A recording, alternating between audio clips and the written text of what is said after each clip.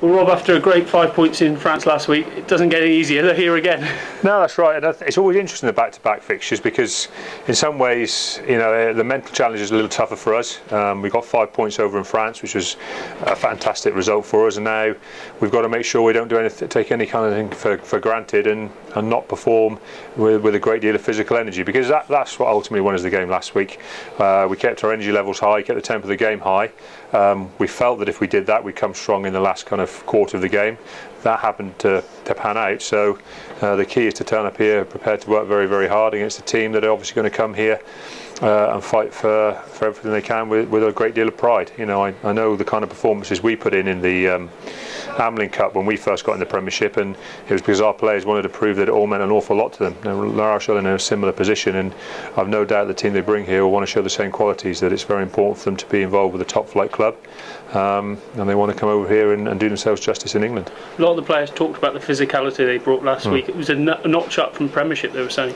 Well, yeah, I mean, I think, and I think in different in different degrees. You know, I think probably tempo-wise, it was. Uh, because we took good tempo to it, they probably the French team probably struggled with that. But they're probably weight in the scrum and at mauls and in some of the individual collisions and, and stuff on the floor was probably greater. And, and that's the difference. That's the difference between the English and French game. So we're aware there's going to be a physical challenge. We're aware we're going to have to work extremely hard. But that's what being in in the Premiership's about. You're involved in top competitions. You know, we want to we want to show that this is very important to us. We've got a group of players who are keen and raring to go. Um, some of them are desperate for rugby.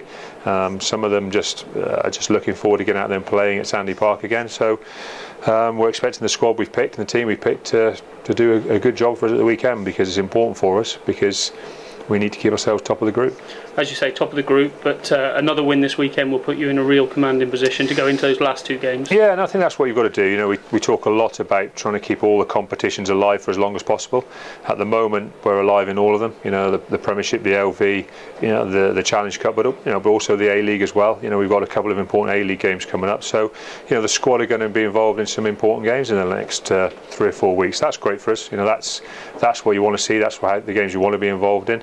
Um, for me, it's just it's just going to be great to see how all the players respond to, to being involved in important games. As a coach, you must be relishing it at the moment. You've got players that are all, hmm. like you say, wanting to play. They're all playing really well as well yes. when they get their opportunity. That's right, and I think that's what's important. I think there's a noticeable uh, quality about us this year with with a lot of players looking comfortable, a lot of players being up to speed, um, and there's, there's a there's a good bit of competition in a in a very positive way amongst the squad that they're dealing with very positively.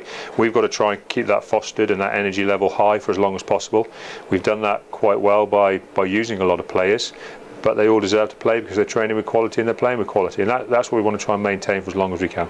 And obviously, to take into next week a big game for Sale, it's a, it's a crucial Premiership block again following. Oh, well, I mean, now that now that the season's gone as well for us as it has, that every Premiership game becomes a bigger game. You know, every one we win makes the next one bigger, doesn't it? Because there seems to be so much more at stake now. You know that um, every, every game seems will will feel like it's driving us into that top four and keeping us there, or it'll feel like we're letting it slip through our fingers a little bit. So when you're there, you want to fight and fight and fight to stay there. And, and again, that'll be an interesting situation for us.